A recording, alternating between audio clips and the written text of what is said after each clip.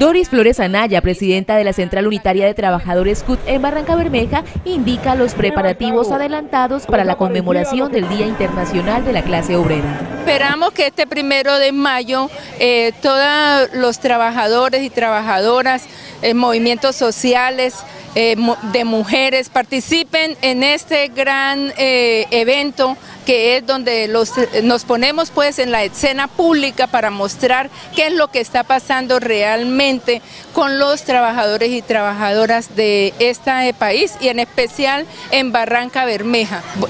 Existe pues algo cultural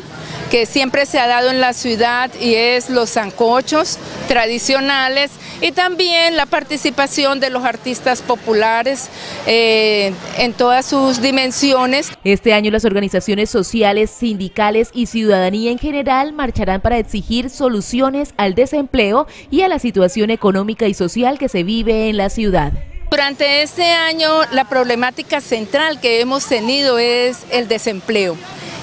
Definitivamente eh, hubo dos momentos el año pasado que fue el paro del magisterio y el apoyo para eh, el proyecto de modernización de refinería que hoy sigue siendo una de las grandes problemáticas que tenemos eh, a nivel de Barranca Bermeja, porque si no se da el proyecto de modernización de refinería, van a caer muchos empleos, tanto directos como indirectos, y el que va a sufrir eh,